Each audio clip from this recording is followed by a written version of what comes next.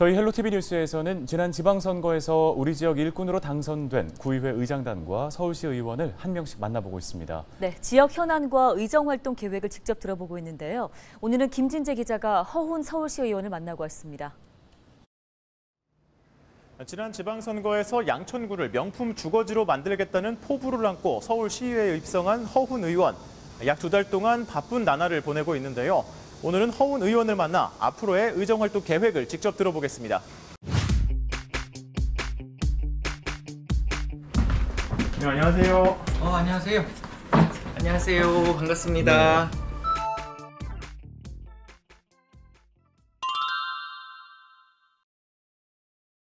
어, 7월 1일 개원하고 시간이 너무 빨리 지나간 것 같습니다.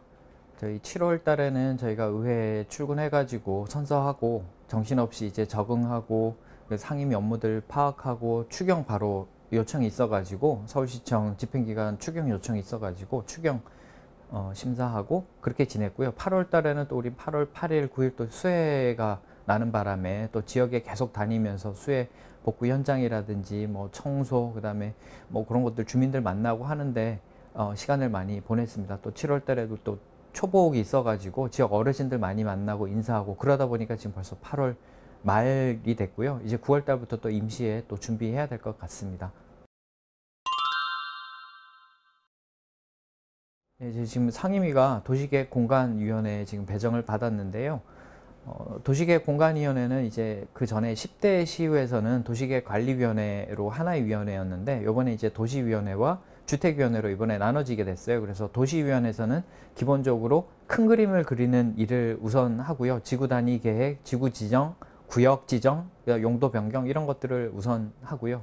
그 이후에 실제 건물이 올라가고 주택을 공급하고 하는 부분은 주택위원회에서 하게 됩니다. 그래서 재개발, 재건축은 주택위원회 소관, 그 다음에 지구 단위 계획 지정은 도시 계획위원회 소관 이렇게 보시면 어, 알기가 쉬울 것 같습니다.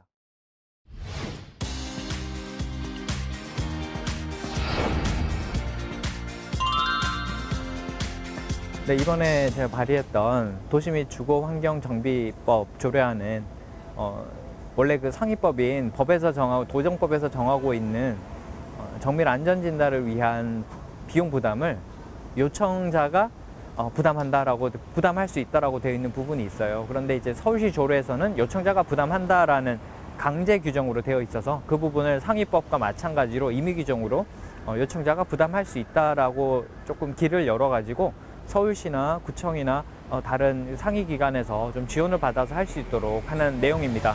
지금 정밀 안전 진단을 위해서 주민들이 동의를 얻어서 그 자부담을 통해 가지고 비용을 어, 모금을 하거든요. 그래 모금을 하다 보니까 아무래도 그 진도가 굉장히 늦어져 가지고 어, 초기 단계에서 실패할 확률도 많고 진단 안전 진단에 한번 탈락한 경우에는 또 다음번 할 때는 또 다시 비용을 부담해야 되는 어, 모금을 해야 되는 그런 어려움들이 있습니다. 그래서 이걸 좀 더 쉽게 하기 위해서 어, 서울시에서 좀 보조를 할 수 있도록 도시 어, 주거환경 기금에서 보조를 할 수 있도록 하는 그 길을 열어주는 그런 조례라고 보시면 되겠습니다. 저희가 양천이 아무래도 교육 특구다 보니까 교육 환경 개선을 위해 가지고 많은 노력을 하고 있고요.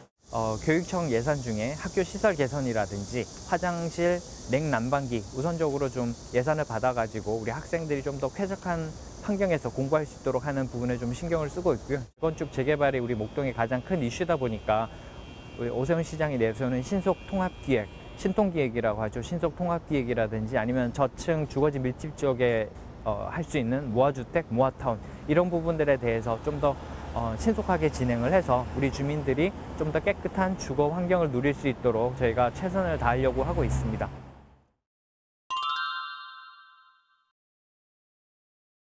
어, 지난 6일 지방선거를 통해 가지고 저를 압승시켜 주신 만큼 또 크게 쓰시라는 말씀을 드리고 싶습니다.